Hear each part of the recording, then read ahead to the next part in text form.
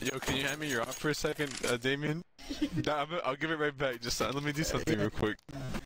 Please. He's gonna throw it. Why would you do that? Who the fuck is Damien? No.